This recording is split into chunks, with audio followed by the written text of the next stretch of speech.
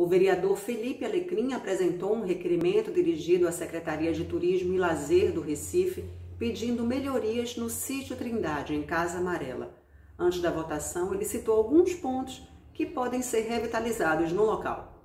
Aquele sítio histórico ele poderia ser melhor estruturado para servir a população o ano todo, todos os dias, presidente.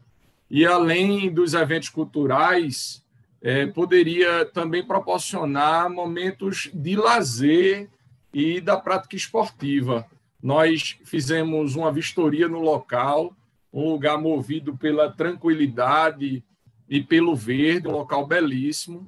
Nós fizemos essa fiscalização, inclusive atendendo ao pedido de vários usuários desse equipamento público, e nós pudemos constatar a necessidade de muitos pontos de melhoria. Eu vou citar alguns deles, presidente. A instalação de brinquedos para as crianças, os brinquedos estavam todos quebrados.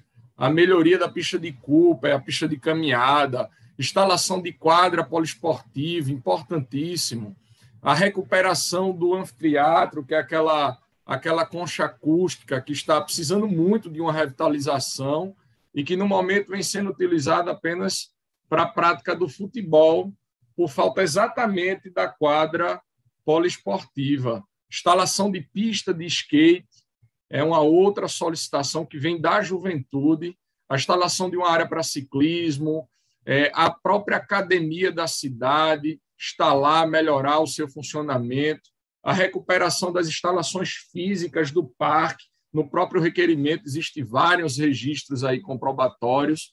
Nós identificamos muitos pontos precisando de manutenção, de revitalização. É necessário que a prefeitura volte o seu olhar para o sítio da Trindade.